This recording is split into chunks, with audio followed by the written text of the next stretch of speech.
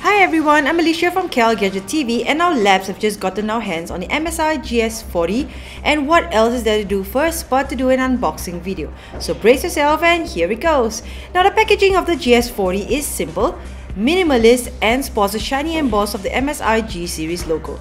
Let's pop the box open. Here is the machine wrapped snugly in a non-woven recycled sheath with the same G series logo imprinted on it. This cover is recyclable so you won't have any qualms disposing of it in the recycling bin. Now to uncover this baby. Just so you know, the GS40 is a 14-inch MSI notebook that is fitted with quite a number of performance parts. And here you go. Check out this sleek looking machine. It is rather slim and is pretty light too. Now let's put this aside and see what else is bundled in the box. So let's flip up this large big piece of cardboard and here is the power brick to power up this machine. Feels quite large for such a small machine, it must need a lot of power. Now this package at the side must be the rest of the power cable. I like the little tap thingy that makes pulling out the package much easier. Let's see, yep, it's the power cable to connect to the brick. Okay, now put that aside and here is the usual documentation package. We have an installation CD, warranty service booklet, a start guide in case you need to know how to use the notebook in a few different languages, and oh, MSI number one in gaming. Now this is the hotkey recovery function booklet. Now there's a lot of paper here, but it's in different languages, so yeah. This is the warranty card. So let's put this all aside and get to the main star.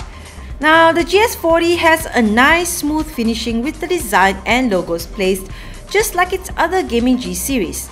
A nice chrome red accent at the edge of the lid is a nice touch to offer a more stylish upper T class look.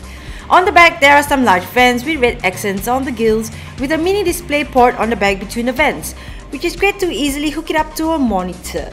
Now on one side, we have a gigabit ethernet port, power port, a USB 3.0 port, an SD card reader, and a microphone and headphone jack. Now on the other side, here you can see another vent, a HDMI out port, another USB 3.0 port, and a USB 3.1 Type-C port. I find it mildly amusing that the utility drivers were given in an optical drive format when there is no optical disk drive on this machine. Now on the front part of the GS40, there are speakers on both sides hidden from view, well hopefully the sound isn't as hidden. Now on the other side are more cooling vents with a few accented in red.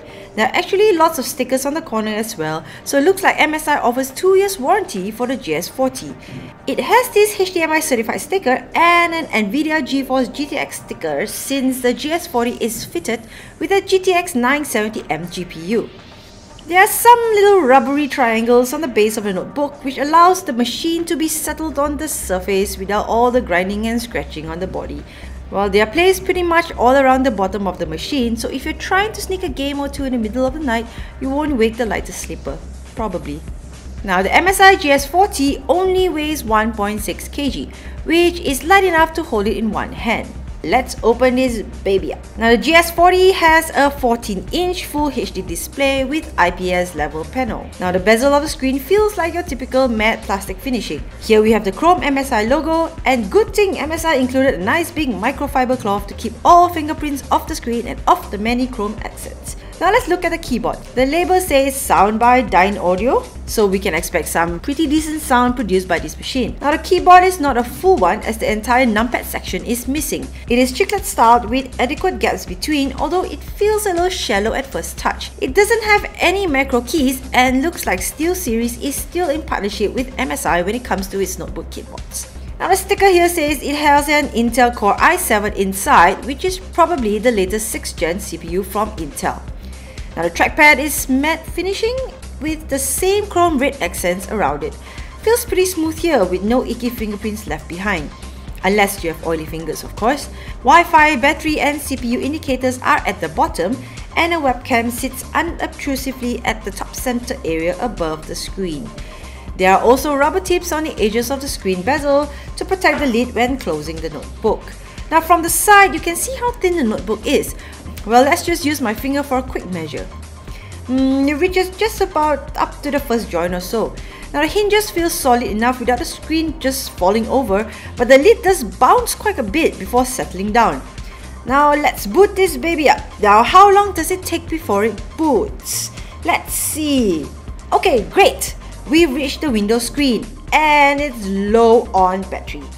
Anyway, this is just an unboxing and first look, so look out for our video review soon where we will test the MSI GS40 in more detail. Till the next video, this is Alicia signing off. Ta-da!